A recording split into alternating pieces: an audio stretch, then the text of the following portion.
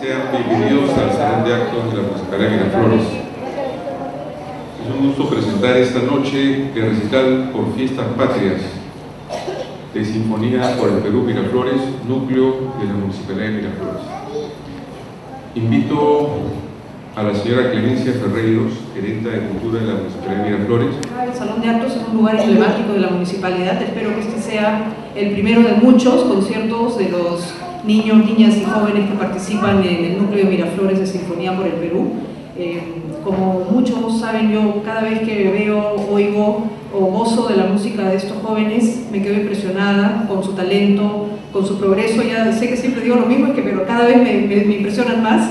Eh, les agradezco a ellos en particular porque son ellos que gracias a su responsabilidad y su compromiso con este programa, con su música, con los ensayos, eh, son los que progresan gracias a su propio esfuerzo. Por supuesto también les agradezco a, Diego Becerra, a Liliana Bojara, a todos los profesores de los instrumentos que están aquí, que también eh, son los que hacen posible este progreso, y a la entrega y responsabilidad de los padres de familia que con el apoyo que le brindan a sus hijos, el interés que ponen, son los que también hacen, hacen posible la, la música que vamos a ir esta noche.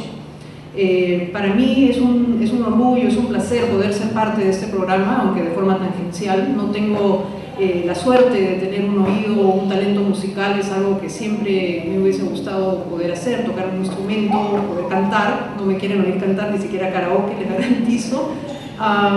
Y la verdad que para mí es, es un honor eh, poder tener a estos chicos participando y siendo parte de la municipalidad. Como les digo, yo espero que este sea el primer concierto de muchos que damos en este espacio, que es tan bello, muy acogedor, que alberga actividades de, de diferentes tipos y este es una actividad que va a darle mucho realce al, al salón de actos. Um, de la misma forma espero también ver a los chicos en los espacios públicos, en los parques, en el anfiteatro Chabuca Granda, que es otro lugar emblemático de Miraflores aquí en el parque, eh, donde siempre hacemos presentaciones culturales, artísticas, y yo creo que ya, y por lo que me dice Diego, lo que me dice Liliana, los profesores, ya eh, los jóvenes eh, están listos para poder presentarse en un público cada vez mayor y cada vez eh, más diverso.